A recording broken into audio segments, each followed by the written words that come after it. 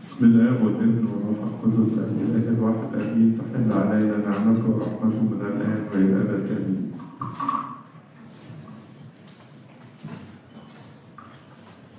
كل سنة وحضراتكم طيبين سعيد إن أنا أكون وياكم هنا في برشيه النمسا في فيينا وفي كنيسة آه، الشهيد القديسه الشهيده عفيفه الميانا والشهيد ابانوب النيسي وفي القاعة الملحقه وطبعا سعيد بمحبه نيافه ابا جبريل اسقف النمسا والقطاع الألماني من سويسرا. سعيد بوجود الاحبار الاجلاء من أكثر من بلد في أوروبا استعدادا للقاء الشباب غدا. اذا اراد ربنا وعشنا. وسعيد بوجود الأباء الكهنة والأباء الرهبان سواء من إبرشية النمسا أو من إبرشية أخرى. وسعيد بأهل فيينا وأهل فينيسيا في أهل تانيين. وأهل فرنسا. والسويد. الاتحاد الأوروبي. خلاص نخلص. سعيد بحضوركم كلكم. والحقيقة آه، أنا هنا في النمسا بقالي مثلا ست أيام أو حاجة زي كده وزرنا الدير تحت التأسيس للقديسة حنا للراهبات وصلينا في المطرانية ودشنا كنايس ونشكر ربنا آه، أوقات جميلة ويعيش نيافة أبا جبريل ويعمر ويخدم زي كل الآباء كل واحد في خدمته في برشيته. كنت ابتديت في اجتماع الأربع وإحنا في مصر ابتديت أتكلم في موضوعات تخص الأسرة. بيتابعني أو اللي بيتابع المحاضرات دهيت آه، كانت آه، تنفيذا لقرار خدناه في المجمع المقدس في آخر اجتماع في شهر يونيو اللي فات واتفقنا إن إحنا هنخلي السنة من يونيو 22 إلى يونيو 23 نتكلم فيها تحت موضوع أسرتي مقدسة. My family is holy بالإنجليزي. أسرتي مقدسة. والهدف من الموضوعات ده هي إن إحنا كلنا آه، نبني فكر صح عن الأسرة. نبني فكر المسيح في الأسرة المسيحية. لأن طبعا كتير مننا بيتفرج على عروض وعلى حاجات على السوشيال ميديا وعلى التلفزيون فيها أفكار ما هياش مسيحية وأنت بتبقى قاعد وأنت قاعد عمال تاخد الأفكار دي والأفكار ده هي ما بتبنيش الأسرة المسيحية القوية. الأسرة اللي بيتكلم عنها الإنجيل. علشان كده اتكلمت في المرات اللي فاتت في مجموعة من الموضوعات. والنهاردة عايز أكلمك عن يوم الإكليل وساعة أو الس- الوقت بتاع آه، صلاة الإكليل أو صلاة آه، الزيكا المقدسة. هقرا وياك جزء من سفر التكوين يعني من أيام الخليقه الأولى. ربنا بص للاسره يكون شكلها إيه؟ في الإصحاح الثاني في عدد 18 يقول كده وأرجوكم تاخدوا بالكم من كل كلمة. وقال الرب الإله ليس جيدا أن يكون آدم وحده. فأصنع له معينا نظيره وكمل الرب الإله من الأرض كل حيوانات البرية كل طيور السماء وأحضرها إلى آدم ليرى ماذا يدعوها يعني آدم كان له شغلانة إنه يسمي الطيور والحيوانات وكل اللي في البرية وكل ما دعا به آدم ذات نفس حية فهو اسمها. يعني قال أسد وده فيل هو التسمية ده هي اللي اتوجدت في اللغات كلها من أيام آدم. فدعا آدم بأسماء جميع البهائم وطيور السماء وجميع حيوانات البرية وأما لنفسه فلم يجد معينا نظيرا. حواليه حيوانات فوقيه طيور بتطير في سمك في البحر في نباتات لكن مش متعزي مش مبسوط مش لاقي ياخد ويدي مع معين نظيرا. عمل إيه ربنا؟ فأوقع الرب الإله سباتا سباتا يعني نوم على آدم فنام فأخذ واحدة من أضلاعه وملأ مكانها لحما. آدم اتخلق من التراب. المرأة اتخلقت من ضلع في آدم وده شكل من أشكال الكرامة المرأة. وبنى الرب الإله الضلع التي أخذها من آدم امرأة وأحضرها إلى آدم. معين نظيرا فقال آدم هذه الآن عظم من عظامي ولحم من لحمي. كائن قريب جدا جدا ده من أضلاعي. ودي قيمة الرجل لما نقول الرجل رأس المرأة مش حكاية الرياسة. والمرياسة والكلام والسيطرة. لا ده معناها إن أقرب كائن له مسؤول عنها. هذه عظم هذه الآن عظم من ولحم من لحمي هذه تدعى امرأة لأنها من امرئ أخذت. اسمع بقى الآية اللي جاية كل دي قصة الخليقة. فآدم تسمية الحيوانات والكائنات ثم خلقة حواء كمعين نظير من ضلع آدم. لذلك إحنا في الإصحاح الثاني في سفر التكوين. لذلك يترك الرجل أباه وأمه ويلتصق بامرأته ويكون الاثنان جسدا واحدا. ده بالتكوين. من العصور الأولى للبشرية. لما يجي النهارده واحد يلعب في مخك بأي صورة بأفكار أخرى هو دي الصورة اللي حطها المسيح. الله لنا في خلقة الإنسان. يترك الرجل أباه وأمه ويلتصق بامرأته ويكونان جسدا واحدا. سفر التكوين الإصحاح الثاني كلمتك في المرات اللي فاتت على قيمة سر الزيجة وقلت لك بيحتاج استعداد. الشباب والشابات اللي موجودين ويانا وبابا وماما واللي بيسمعونا وبيشوفونا لازم نبني فكر صح. فكر صح. عشان تبني فكر صح قلت لك لازم يكون عندك خمس أبعاد بنسميها اتحادات عشان تكون سر زيج عشان تكون الأسرة. واحد الاتحاد الفكري. يعني أنت وأنتي اللي هتكونوا الاسره لازم الأول نتحد عن طريق الفكر. تبقى أفكارنا واحد مش واحد بيفكر شمال والتاني بيفكر يمين. واحد رؤيته للحياة بلون والرؤيه الثانية بلون تاني. لا لازم يحصل تماثل وتكامل في الفكر وقبول في الفكر. الاتحاد الفكري دي فترة الخطوبة في فترة الخطوبة الاتحاد العاطفي. انت ربنا خلقك وانتي ربنا خلقك وخلق فينا العاطفة والعاطفة مقدسة. لما نوصل لسن المراهقة كده تبتدي تتكون فينا عواطف كل جنس ينجذب للجنس الآخر استعدادا لتكوين الأسرة. الاتحاد العاطفي. نمرة ثلاثة الاتحاد الروحي.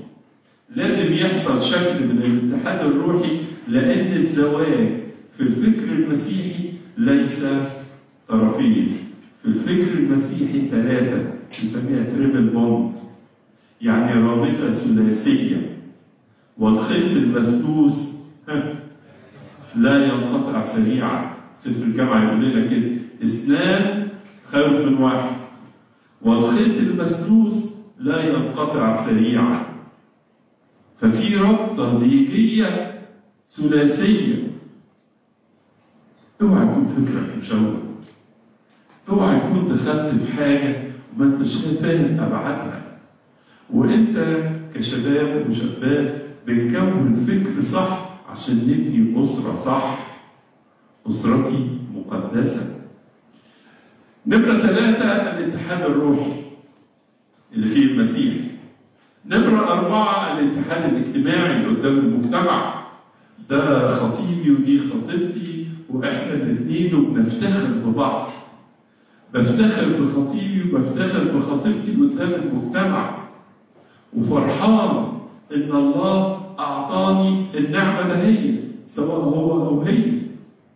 ما هي دي بعد صلوات وبعد تفكير وبعد آه، اجتهادات كتيرة.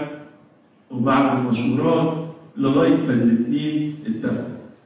واحد الفكري اثنين العاطفي ثلاثة الروحي. أربعة الاجتماعي ثم الاتحاد الجسدي اللي بيتم خلال سر الزيكا الاتحاد الجسدي. واتكلمت على الخمس أبعاد دول وشرحتهم كويس وقلتهم بطريقة طيبة وشرحهم مختصرين طبعا لأن المواضيع دهيت فيها كلام كتير. النهارده إحنا وصلنا ليوم الإكليل اليوم المميز في حياة الإنسان اللي غالبا لا يتكرر. غالبا لا يتكرر. يوم مميز يوم ارتباطك أنت وأنتي. ارتباطكم أنتوا الاثنين وبداية تكوين أسرة. ونقول كده لبعض بس إحنا عندنا فرح. عندنا فرح. فرح يملى الكبار ويملى الصغيرين ويملى الأصحاب ويملى القرايب ويملى الكنيسة ويفرح السماء ويفرح المسيح. فرح. نسميه الإكليل. الإكليل يعني تاج. لما بتفوز في مسابقة بيدولك تاج علامة الانتصار فلما بنقول إكليل ده معناها إن إحنا حصلنا على انتصار انتصار بمعونة المسيح. وإحنا الاثنين هنجاهد ويا بعض عشان نفضل منتصرين. ونسميه سر الزيجة المقدس اللي قال عليه بولس الرسول في البولس اللي بنقراه في رسالة أفسس في يوم الاثنين هذا السر العظيم وحطينا صورة بهية إن هذا السر المسيح اللي اتحد بالكنيسة. المسيح اللي اختار الكنيسة المسيح اللي فدى الكنيسة. وبعدين يقول لك يا كل رجل ويا كل امرأة يا اللي كونت سر الزيجة وابتديت تكونه انت على لسان المسيح والكنيسة. في أروع من كده. قديس يوحنا الذهبي الفم بيقول كده. الأسرة أيقونة الكنيسة. أيقونة الكنيسة. الأيقونة اللي في الكنيسة دي صورتها مفرحة. لما بنحط أيقونة قديسين كده ده إحنا بنفوت عليها وناخد البركة. والأيقونة تبقى قدامنا نقول دي أيقونة القديس فلان ودي القديسة فلانة وده الشهيد ودي الشهيدة ونبقى فرحانين. أنت رايح فين النهارده؟ أنا رايح كنيسة الشهيد مريمينا. رايح كنيسة الشهيد الميانا والشهيد أبانوب ونسمي كنايسنا بأسماء قديسين بنروح نقابلهم لأنهم عايشين ويانا بأرواحهم. ال- ال- الأسرة اللي بتتكون أيقونة الكنيسة أيقونة الكنيسة. تعالى يوم الإكليل نتكلم ويا بعض كده بصورة آه، يعني محددة شوية ونقدر نفهم شوية. يوم الإكليل يوم بس يوم مميز. ويوم تاريخي ويوم بنحتفل بيه سنويا ويوم له ذكريات له ذكريات. أبونا ده أو سيدنا ده اللي عمل لنا الإكليل. الكنيسة دي اللي عملنا فيها الإكليل. الفرحة اللي بتكبر وبتبقى حياة قبل الإكليل قبل صلوات الإكليل عايز أقول لك على شوية حاجات. واحد خلص كل التزاماتك قبل يوم الإكليل. ما تبقاش يوم الإكليل. مزنوق في أي حاجة. خليه يوم هادئ. وخلص كل التزاماتك حتى يصير إكليلك إكليل. آه، أنت مركز فيه. أنت عايش جواه. ده أنت تاخد سر الزيجة غالبا وربنا يحفظكم جميعا مرة واحدة. حاجة قيمة كبيرة. ده أنت النهاردة أنت وأنتي الكنيسة والروح القدس يربط ما بينكم إلى نهاية العمر. يا ده يوم خطير في حياتك.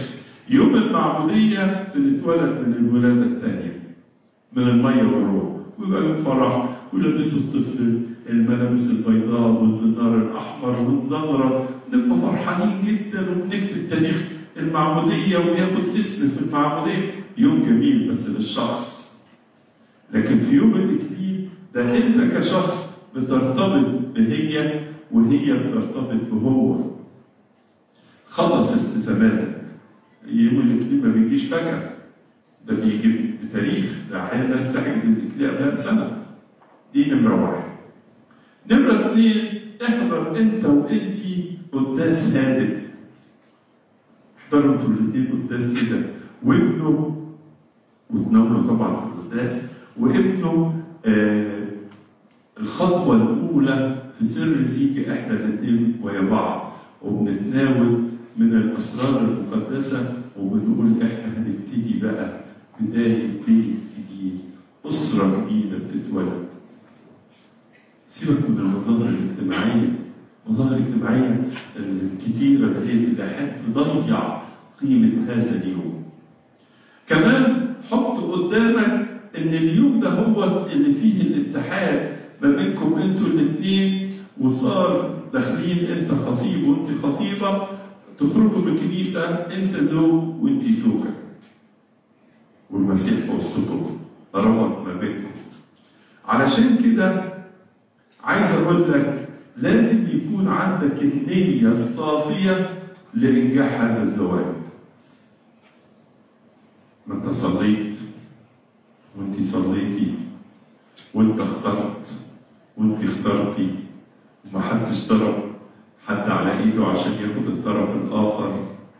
وقعدتوا ويا بعض فترة خطوبة كافية. وفهمتوا بعض. وابتديتوا تحلموا ويا بعض. وتبصوا للمستقبل ويا بعض. حاجة جميلة جدا. فانتوا الاثنين تتكون عندكم النية لإنجاح الزواج بس النية دي عايزة إرادة أنا لازم أنجح زواجي أنت تقول كده وأنت تقولي كده وأنتوا واقفين في القداس يمينك القداس اللي هو قبل الإكليل على طول بتقول كده اديني يا رب الإرادة القوية إن أنا أنجح زواجي. أنت تصلي كده وأنت تصلي بنفس الصلاة. عايز أنجح زواجي. دي مش تجربة. مش بنعمل تجربة نفعت ما نفعتش. لا طبعا. عشان كده قبلها تفكير بمراحل كتير. يأتي يوم الزواج. يأتي وقت الإكليل. أول حاجة عايزك تعرفها إن إحنا الاتنين اللي هيتجوزوا بيدخلوا الكنيسة على لحن يا ملك السلام. يا ملك السلام. وهي دايما تكون على يمينه. معين نظيره. هي دايما على يمينه. في الصلاة وفي التصوير وفي المناسبات دايما أنت على يمين هو.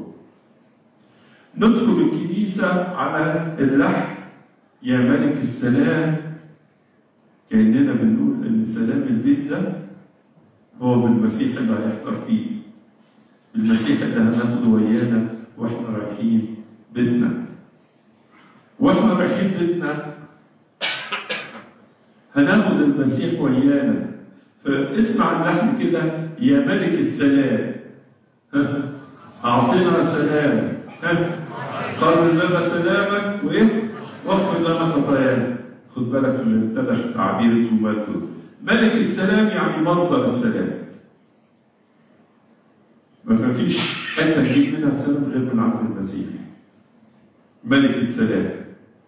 نمرة اثنين يا ملك السلام أعطنا سلامك إدينا السلام ده في البيت في بيتنا في حياتنا في الصبح وفي الظهر وفي الليل في كل أيامنا في أعمالنا في خدمتنا في علاقتنا ببعض في الكلام اللي بنتكلمه ويا بعض. أعطنا سلامك سلام المسيح. نمرة ثلاثة قرر لنا قرر يعني ثبت زي ما في واحد بيسميه ثابت ثبت سلامك فينا. مش السلام ده يروح ويجي. وكلكم حافظين الآية. طوبى لصانع. ها؟ حافظينها ولا إيه؟ طوبى لصانع السلام لأنهم أبناء الله العون يعني كل ما تعمل سلام في بيتك كل ما تصير ابن الله في واحد بعيد عنكم يقعد يعاند. في واحدة تقعد تعاند يجي السلام منين؟ إذا كنت أنت إله غير مستعد إنك تصنع سلام. ده كأنك متأسف في الكلمة الوحشة ده. كأنك بتقول للمسيح عن إذنك. مش عايزك في بيتنا. مين يقدر يقول كده؟ بعناده بطريقته الصعبة بطريقتنا الصعبة. أنا لما بتكلم لا أقصد طرف من الاثنين. طرف معين يعني. يعني هو هي وهي هو بالظبط. يدخلوا الكنيسة باللبس الأبيض الجميل وبالاستعداد الجميل ده هو. يا ملك السلام أعطنا سلامك. والشمامسة وياهم وأبونا الكاهن أو أبونا الأسقف. موجود الكنيسة كلها حاضرة. الكنيسة كلها حاضرة. إيه؟ إيه الجمال ده؟ ده الكنيسة بتتولد. بنعمل فرع جديد للكنيسة الأم. اسمه أسرة سيكو صاد طيب دخلنا. طبعا غالبا الأب بيسلم بنته للعريس للخطيب اللي هو خلاص صار كأنه ابنه ويبتدوا يدخلوا هما الاثنين ويقفوا قدام الهيكل نفس المكان اللي بيترسم فيه البطرك والأسقف والكاهن. يا هذه عظمه عظمه سر زيكا ما هو البطرك والاسقف والكاهن جايين من أسر. مش كده برضه؟ في بابا وماما بابا وماما واتجوزوا جوه الكنيسة. هي دي صورة جميلة. ما ابنك وبنتك مستقبلا لما الأسرة تنكب أبناء وبنات. ما الابن والابنه دي ممكن يصير شيء في الكنيسة بأي صورة من الصور. جاي من الأسرة.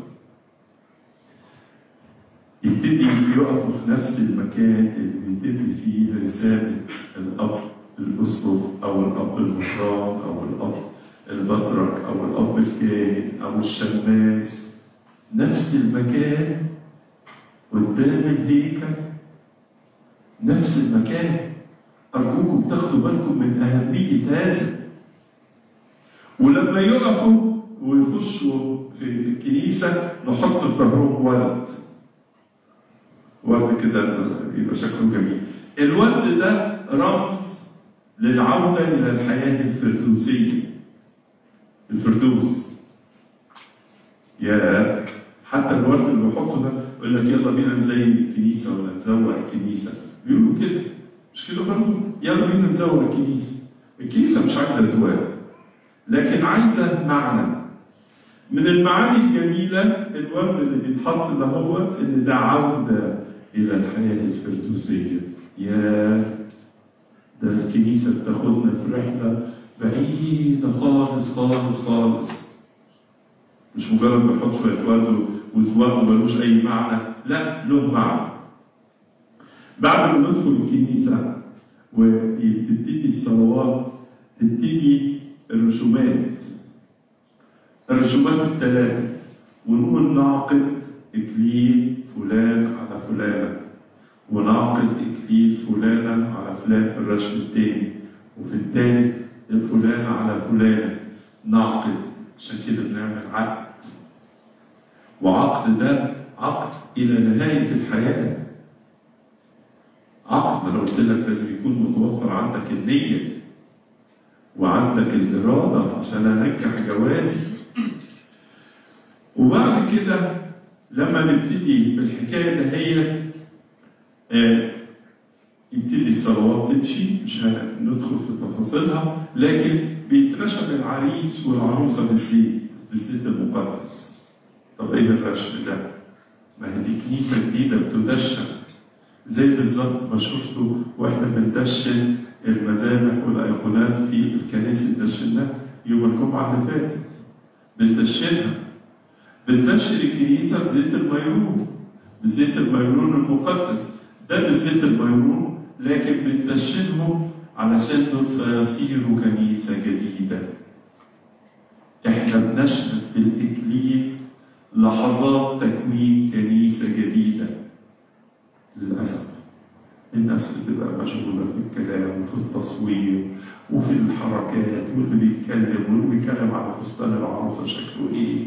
والعريس ده لابس إيه وبيعملوا إيه وقاعدين إزاي؟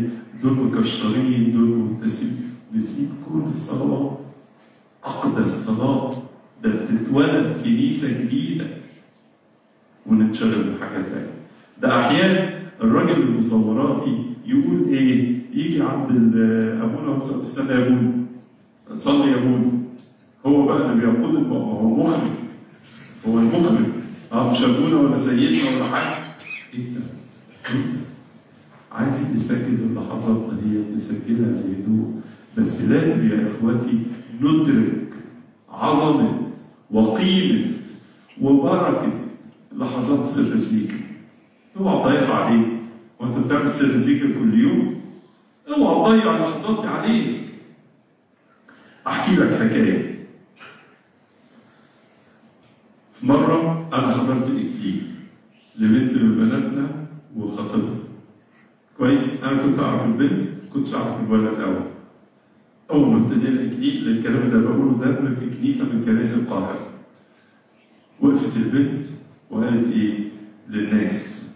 قالت لهم أنا متشكرة أنا خطيبي فلان آه، متشكرة إنكم بتحضروا هنا الاكليل ليا طلب عندكم. ارجوكم محدش يظبط نهائيا إلا ما خلص الاكليل كويس؟ وأنا وخطيبي اتفقنا إن إحنا طول صلوات الاكليل هنقف مغمضين. ونصلي. هنقف مغمضين. عشان صاحبنا المصوراتي يعمل إيه؟ يروح. مش كده برضه؟ هيصور ناس مغمضة شايفين الرقة في القصة؟ وقفوا طول الإكليل مغمضين بيصلوا وطلبوا من الناس إنهم يصلوا من أجل بيتهم الجديد النهارده لهم يمكن 25 سنة متزوجين في كابل من أروع ال- الأسر. ربنا أعطاهم أبناء حلوين وعايشين زي الفل وربنا مبارك في حياتهم في كل حاجة. حاجة. طريقة. مش هقدر أقول كل الناس تعمل كده لكن إزاي نقدس؟ دي ساعة. صلاة سر الزيجه لما بتكتمل بتاخد ساعة. احفظها. احفظها. عيشها بكيانك عيشها بفكرك افهم كل خطوة فيها. ما فيهاش صلوات كده ملهاش معنى. عيش. آه، الصلوات ترشمت انت وانت بالزيت بتدشن الكنيسة الجديدة. الزيت علامة تقديس وعلامة تطهير وعلامة شفاء هنبتدي بقى مسؤولية نلبس العريس البرنس نقول له أنت كاهن الأسرة. أنت دورك. لما نقول الرجل رأس المرأة لا تعني بأي شكل من الأشكال من السيطرة أو التحكم نهائيا. كلمة رأس يعني المسؤول. أنت المسؤول عن هذه الأسرة. طب مش معنى الراجل؟ عشان ربنا خلق آدم الأول. ده ترتيب الله مش ترتيب بشر. وبعدين نقول له وبنلبسها زي حرملة كده صغيرة لطيفة برضه بتزين وقت الإكليل وبنعتبر إن الأسرة اللي بتتكون ده هي امتداد للكنيسة الكبيرة زي واحد عنده شركة وقال أنا قررت أعمل فرع في البلد الفلانية وفرع تاني في الحتة دي. بالظبط كده. الكنيسة إنجاز التعبير أو الرمزية في الموضوع بتعمل فرع بهذه الأسرة الجديدة الصلوات بتتم. في البداية كان في تعهد بيقروه الزوج والزوجة وأحيانا أبونا يقرأه وهما يترددوا وراه هما الاثنين تعهد مهم جدا يضاف آه، المجمع المقدس عمله من كذا سنة ثلاث أربع سنين كده إن في تعهد نقراه زي ما الشماس يترسم والكاهن والأسقف في تعهد بيتقال. وبعد كده آه، بتمشي الصلوات وفي وصية بتتقال للعريس. بتتقال للعروس الوصية دي التزام والالتزام الجميل ده هو بيبقى مهم لهم هما الاثنين إن كل واحد يعرف حدود عملوا إيه حدود دوره جوه الأسرة إيه. في حاجات مثلا مكتوبة يمكن بصياغه عربيه قديمه شوية لكن جميلة معناها حلو. أحيانا مثلا إيه يقول للزوجه يقول لها تعيشي في البشاشة تكوني بصورة البشاشة قدام بيتك. أصل البشاشة أو يعني الروح الطيبة ده هي هي اللي بتفرح البيت. ما أنت اللي بتفرح البيت. أنا قلت لك من شوية الرجل رأس المرأة وليس فيها أي نوع من القيادة زي أي نوع من السيطرة متأسف. فيها القيادة وفيها المسؤولية. أنت بقى قلب الأسرة أنت قلب الأسرة. إذا كان هو الرأس عشان المسؤولية أنت القلب الروح روح الأسرة. يا إيه المسؤولية الجميلة ده هي؟ آه. وتبقي بالمسؤولية الحلوة ده هي علشان الأسرة تعيش. فالوصية بتاعت العريس وبتاعت العروس بتحدد دور كل واحد. مثلا تخضعي له وتكوني وتقولي له يا سيدي زي سارة آه، لأبونا إبراهيم. واحد نضحك ساعتها. و... ويعني لا مؤاخذة في الكلمة نتريق. ولا سيدي بعد النهارده في قلب 21 وأقول لجوزي يا سيدي آه، مش داخلة في ذهن بنات النهارده خدي المعنى الروحي اللي وراه معنى الروح البسطاء قالوا المركب اللي لها إيه رئيسين تغرق لازم واحد رئيس يقود المركب وأنا أساعده أساعده. مفيش مانع. وأكون معين نظير له. حلو خالص. بس المهم اللي لها رئيسين تغرق فلما نقول سيدي ده نوع من الاحترام. وهنا يا أحباء عايز أسبق وأقول إن كررت أنا في المرات اللي فاتت وهفضل أكرر التعبير ده هو إن الثلاث مفاتيح اللي بندخل بيهم في سر الزيجه لتكوين الأسرة ثلاث مفاتيح رئيسية وأساسية. مفتاح الأول اللي هو الاحترام. الاحترام تقديم الاحترام. والمفتاح الثاني تقدير الاحتياج. كل واحد من الاثنين عنده احتياجات. احتياجات نفسية واحتياجات عقلية واحتياجات روحية واحتياجات جسدية. لازم كل طرف يقدر احتياج الآخر. يقدر تماما. ونمرة ثلاثة تمكين الاحتواء. عملية الاحتواء ما بين هو وهي هو ربنا بيخلينا نتجوز ليه؟ علشان كل واحد يحتوي الآخر هو وهي يحتوي. المركب تمشي وربنا يهدي سركم وتكون الأسرة أسرة سعيدة بهذه الصورة وتكون بالحقيقة مصنع للقديسين يطلعوا أولادكم كده قدامكم تشعروا بيهم إنهم فخر ليكم. وكل اللي أنتوا عشتوه في سر الزيجة ده وتربيتكم لأولادكم بيبان. قدام ابنك وبنتك بالصورة دي. وحتى لو الله ما بيسمح لأحد بالإنجاب بتكون ثمار الزيجة نوع من الخدمات. كون أنت بتخدم بصورة معينة أو أنت بتخدمي بصورة معينة وهنبقى نتكلم عن الأمر ده هو في وقت تاني. يجي بقى حط الأكاليل نحط الأكاليل الإكليل. كل إكليل بتلاقوا فيه يعني زي فص كبير كده في الوسط وجنبيها فصوص صغيرة. الإكليل علامة انتصار وفخر إنك دايما منتصر على أي ضعف. أنت دايما منتصرة على أي ضعف. ما هو جوازكم ده مش بيعدي بالساهل. ده عدو الخير بيحارب والشيطان بيعمل فخاخ ويا بخت اللي على سره. واللي يحفظ خصوصيته فبنقول له بنقول لها أنتوا الاثنين يجب أن تكونوا منتصرين ده نمرة واحد نمرة اتنين الفص الكبير اللي بيبقى في الإكليل أو يعني شبه الفص ده ده بيبقى تعبير عن الطرف الآخر. يعني أنت لابس إكليل الفص الكبير هو زوجتك. وأنت لابسة إكليل الفص الكبير هو زوجك. يعني إيه زوجي وزوجتي؟ يعني دائما أنت وأنت بتفكروا في بعض. وده امتداد للاتحاد الفكري اللي قلنا عليه في بداية الخطوبة. يعني عقلي مش مشغول غير بالطرف الآخر. حاجة حلوة خالص.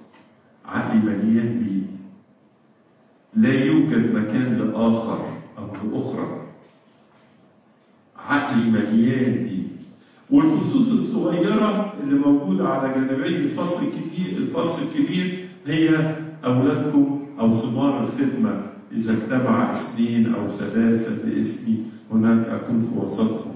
ثمار هذه الزيجة اللي هيكونوا أبناء وبنات ربنا يفرحكم بيه أنت شايلهم فوق راسك. وأنت شايلهم فوق راسك. دايما مبديهم وأنت بانتصارك على أي ضعف بيحصل الانتصار ده بيحفظكم دايما الإكليل ده هو دايما إكليل لمن عاش بلا سقوط ولا خطية. ده إكليل انتصار وده إكليل النعمة غير المغلوبة. وده كمان إكليل رمز للأكاليل السماوية اللي تنتظر كل طرف. فيكم بعد ما عاش حياة الزيجة بالعمر الطويل كده وكان أمين وكانت أمينة وحياتهم كانت مقدسة لهم أكاليل سماوية. تفتكروا يعني مثلا قديس مارمينا ولا القديسة ديبيانا أبوها وأمها أو أبوه وأمه لمارمينا مش هيبقوا يوم في السماء؟ دول اتصلوا وجابوا لنا القديس ده أو الشهيد ده أو الشهيدة دي. وضع الأكاليل وبعد كده الدبل بنلبس الدبل والدبلة معناها الرباط المقدس وبنحطها في الأصبع الرابع في ترتيب الأصابع كده وده الأصبع المتصل بالقلب. خالص وبننقلها من اليمين ننقلها للشمال من الخطوبة للزواج وبيبقى الدبلة ده هي مكتوب عليها اسم الطرف الآخر ومكتوب عليها تاريخ الخطوبة تاريخ الإكليل وبيبقى الإنسان ده لسه طول عمره وبيبقى دي معناه الرباط المقدس. الرباط المقدس اللي ربط ما بين الاثنين بيبقى هي دي العلامة. ودي علامة متصلة بقلب الإنسان. عايز أحكي لك على تقليد موجود في بعض الكنائس ويبدو إنه كان موجود عندنا زمان وراح مع الأيام. أحكي لك عن التقليد ده. موجود في بعض الكنائس موجودة في أوروبا يوم ما يخشوا الإكليل هو وهي الكاهن يديهم صليب. هي تمسك الصليب ويحط إيديه هو العريس على إيديها والكاهن الإيد الثالثه اللي فوق ويبارك الصليب. ويكون الصليب ده هو وهو بيسلمه للعريس والعروسة يقول لهم العبارة ده هي لقد بكلم العريس لقد وجدت صليبك.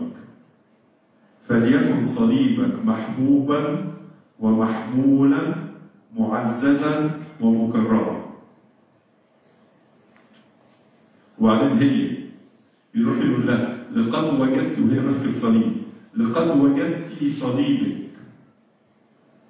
وليكن صليبك محبوبا ومحمولا معززا ومكرما. ويفضلوا ماسكين الصليب بعد ما أبونا يخلص الصلوات ديت يبوسوا الصليب. هما الاثنين وياخدوا الصليب ده وياهم لبيتهم. والصليب ده هو يبقى دايما قدام عينيهم. ودايما يقبلوا هما الاثنين الصليب قبل ما يناموا. ولما يجي لهم أطفال يعلموا الأطفال إنه إزاي يقبل الصليب قبل ما ينام. إحنا عندنا إيه؟ الطفل يجي يبوس يبوس بابا يبوس ماما. بنعمل التقليد الجميل. بيعلموهم إزاي يبوس صليب المسيح. و... ويصير يسوع صديق العائلة من خلال هذا الصليب. ويصير الصليب مصدر الحب ويوم ما يحصل مشكلة ما بينهم يجيبوا الصليب اللي خدوه يوم الإكليل ما بينهم ويتناقشوا في المشكلة. بيقولوا البلاد اللي فيها هذا التقليد الجميل أقل البلاد في حالات الانفصال. أقل البلاد. لأن بسرعة أولا كل يوم المسيح قدامهم والصليب قدامهم وفي نفس الوقت آه، هم على اتصال وتقبيل الصليب في نهاية كل يوم وتعليم أولادهم. التقليد ده تقليد جميل خالص. وتقليد يعني حتى لو طبق في حياتنا إحنا أحيانا بندي الأسرة الجديدة بنديهم آه، إنجيل كتاب مقدس ونكتب فيه. حلو خالص. لو كان مع الإنجيل صليب تبقى فكرة لطيفة جدا وتساعد على حفظ هذه الأسرة الجميلة. بعد كده استلمي عريس عروستك واستلمي هو بقى زوجك وانتي صرتي آه، زوجته وكل ده بيتم قدام مذبح ده من هيكل. اوعوا تنسوا الحتة دي. اوعوا تفتكروه طقس كده بلا معنى طقس له قيمه وبيتقدم علشان يفرحنا كلنا هما الاثنين و طبعا ده الكلام ده كله يختلف عن أي زواج تاني. لا تقول لي زواج مدني ولا اجتماعي ولا أي شكل من الأشكال التانية. ده هي قيمة سر الزيجة اللي بيربط ما بين الاثنين. و بالصورة الحلوة ده هي بيكتمل سر الزيجة بيركعوا قدام الهيكل والركوع بتاعهم ده بيبقى آه، علامة. للخضوع هما الاثنين خاضعين لشخص المسيح اللي هياخدوه وياهم وهم راجعين البيت بتاعهم. طقس جميل ساعة. مفيش داعي بقى للشوشرة ولا الناس تيجي مش عارف تعمل لبس العريس ولا لبس العروسة ولا البتاع دي وانت نشوف هتشيل ونحطه فين. والواحد يضيع أقدس وقت ضيعه كده. ونيجي نشكي بعد كده. هو ليه أسرنا فيها متاعب؟ هو ليه فلان مش طايق فلانة؟ هو ليه فلانة عاملة مش عارف إيه وهي فلان خدوا بركة السر. اوعى تضيع حاجة من بركة السر دي ساعة. ساعة. تكون زغرته الناس فرحانين بيباركونا هما الاثنين صاروا آه، زوج وزوجة ابتدوا ياخدوا المسيح من على المذبح. ويمشوا في اتجاه بيتهم وهم المسيح في وسطهم. وتكونت الأسرة الجميلة من هو وهي بالصورة الجميلة ده هي. وبقت الزيجة صحيح مسجلة على عقد. ورق لكن هي حضور الروح القدس اللي وحد ما بينهم. وحضور الناس. لأن ده تم علن. في العلن. فبقى في شهود وفي علنية وفي حضور الروح القدس وفي حضور الكنيسة ممثلة في الأب الكاهن أو الأب الأسقف والشكل الجميل ده اللي بيتم بيه هذا الطقس الجميل. خلصنا الكنيسة طب هنعمل إيه بعد كده؟ هنعمل إيه؟ هنعمل إيه؟ نضيع بقى كل اللي فات. كويس؟ نضيع بقى كل اللي فات. أنت الآن أيها العريس الزوج قد صرت وأخذت نعمة غير منظورة والروح القدس حل بينكما فارفع قلبك بالشكر وأنتم خارجين ناس بيباركلكم لكن قلبكم عمال يشكر الله على هذه النعمة الكبيرة. وزي ما قلت لك أنت داخل بالنية الصالحة لنجاح زي- زيجتك أنت وانتي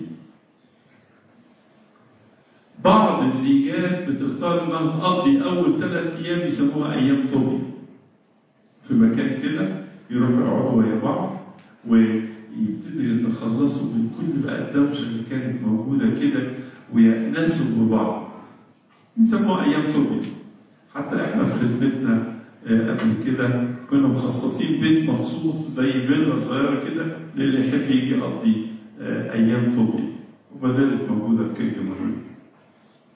آه، يقضوا أيام كده مريحة بعد الزحمة والزنقه والكلام الكتير والحاجات ده وبعدين يدرسوا يشوفوا سر اللي تم ده و...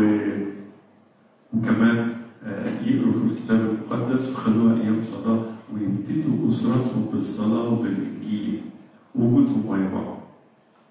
في ناس بتحب كده في ناس ما بتحبش خالص ما يجراش حاجة. وبعدين يبتدي بقى آه، للأسف الشديد دخول العالم ويحطم ويشوش ويضيع البركة اللي خدناها في الكنيسة. عايزين نعمل قاعة. وأحيانا الموضوع ده هو ياخد فلوس كتيرة وأحيانا عندكم بتعملوا قروض عشان تعمل مش عارف قاعة وتعمل منظر وكل هذا لا يأتي بشيء وليس له أي قيمة بالمرة غير بس العظمة بتاعت حضرتك وبتاعت حضرتك اللي هم الكبار إن أنا عملت ابني وعملت بنتي. ثم ربما في القاعدة هي تأتي أفعال منافية تماما للسر اللي كنا فيه من ساعات. وفكر معي أيها الحبيب وأيتها الإبنة المباركة فكروا معايا إيه اللي عملنا ده؟ إيه اللي عملنا ده؟ مرة واحد قال لي تشبيه غريب قوي. قال لي ده عامل زي واحد عامل تورتة جميلة خالص وبعد خد شوية رمل وشوية رمل حطهم على التورتة. يا تشبيه ده صعب شوية. فوق لنفسك.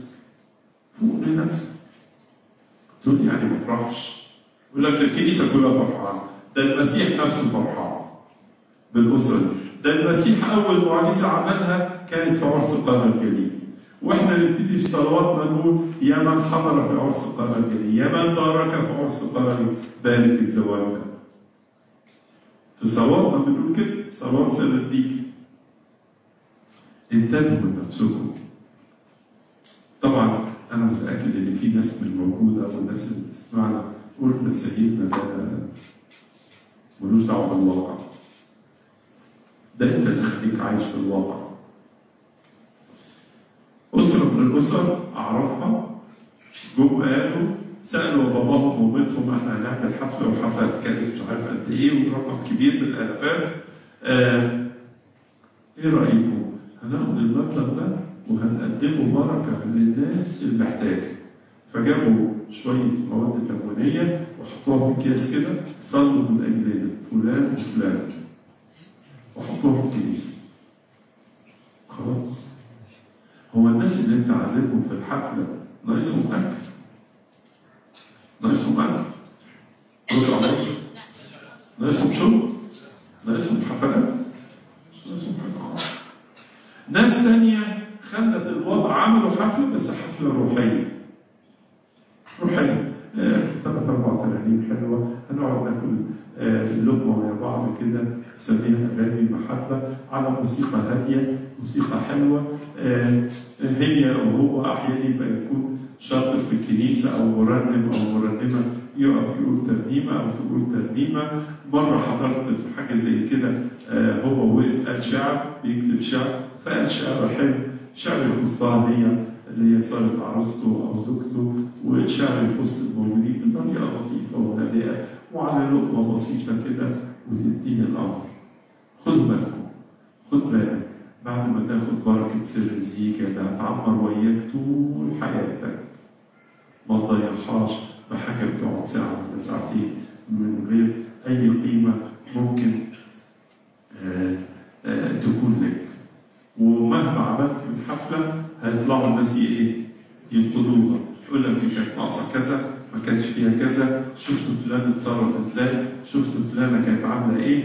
وهكذا. ينقضوا حتى اللي أنت عملته. اطلب البركة والنعمة. في ناس تخلص الإكليل وتسافر على طول عشان تتجنب موضوع الحفلات ده. تسافر تقضي يومين ثلاثة في مكان خلق ومكان جميل كده يبتدوا بيه حياتهم بأي صورة من الصور لكن انتبهوا إن سر الزيجة له بركته في تكوين الكنيسة الجديدة. والكنيسة الجديدة اللي هي عايزة تحافظ على البركة. وناخد سر الزيجة ناخده نحفظه في قلبنا. إحنا الاثنين ونعيش بيه وهو ده سبب البركة في حياتنا. يوم الإكليل يوم مبارك ويوم مقدس لكل أسرة وبركة سر الزيجة بركة حقيقية. وعشان كده أنا بدعوكم كلكم سواء الشباب أو الشباب اللي هيرتبطوا أو بابا وماما اللي بيربوا ولادهم إن يوم سر الزيجة ده يوم مقدس للغاية ويحتاج منك كل تركيز وكل فهم. في ناس بتعمل تجيب إصحاح 13 في رسالة كورنثوس الأولى اللي هو إصحاح المحبة. إصحاح المحبة هو 13 آية يكتبوه وهو ده اللي يوزعوه كارت الفرح. إصحاح المحبة. صح لطيف خالص. أو ياخدوا منه مجموعة آيات ويوزعوه يبقى فيها كلمة الإنجيل المقدس. في ناس بتفكر أفكار حلوة وأفكار كلها جميلة خالص ونعيش في الذكرى الجميلة اللي هي مباركة السر. ربنا يحفظكم وبنعمة المسيح نكمل موضوعاتنا بعد كده لكن هي إزاي يوم سر الزيجة ده لازم ياخد كل اهتمام وكل اعتبار مننا. ربنا يبارك حياتكم وأنا سعيد إن أنا أكون وياكم باستمرار ومبسوط في زيارتنا هنا ومبسوط بالقاعة الجميلة وبالمبنى الجميل ده هو يعيش لما جميل ويعمر ويعمل أنشطة ويعمل تعبير حلو كده يخدم كل آه، الرعية في هذه الإبرشية المباركة.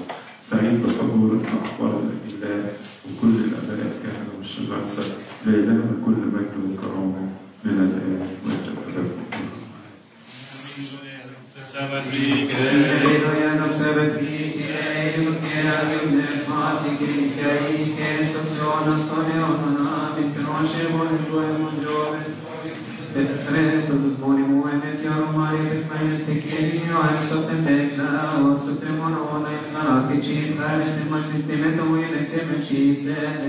Annoitea preghidonia in tima tosha la ricadezza metterai, isopeiente solo, mutibne mambra pitubi takmis, ya bostur, successe te are gortene to erat fin beniote taiot nascere, bababa tau adoros, min beniote neves covas avagerin, min beniote neves covas diet inim, notente et tabru egen nuestro nos, en ambice de robbine mansei o egirin,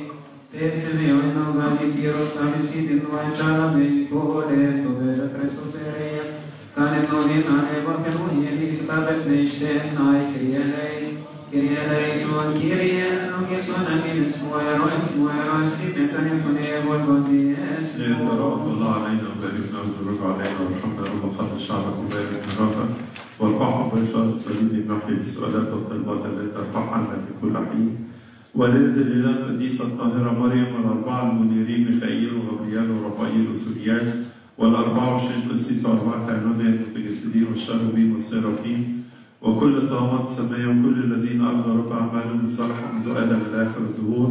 بركة قديسي هذا اليوم ملاك هذه الليلة. بركة أمنا العذراء أولا وآخرا بركتهم مقدسة ونعمتهم هبتهم معونتهم شفاعتهم قوتهم تكون مع جميعنا أمين بخريستوس بالنور أيها المسيح إلهنا ملك السلام أعطنا سلامك قرر لنا سلامك واغفر لنا خطايانا واجعلنا مستحقين أن نقول بشكر يا أبانا الذي في السماوات. تقدس اسمك يأتي ملكوتك لكن مشتاق كما في السماء كذلك على الأرض خبزنا كفافنا أعطينا اليوم واغفر لنا ذنوبنا كما نحن نحن أيضا مذنبين إليك ولا تدخلنا في تجربة لكن نجينا الشرير. بالمسيح صار بنا لأن لك الملك والآن محبة الله الآب ونعمة الابن وحيد شركة وموهبة وعطية الروح القدس تكون مع جماعكم. أنتم سلام سلام الرب يكون مع جماعكم.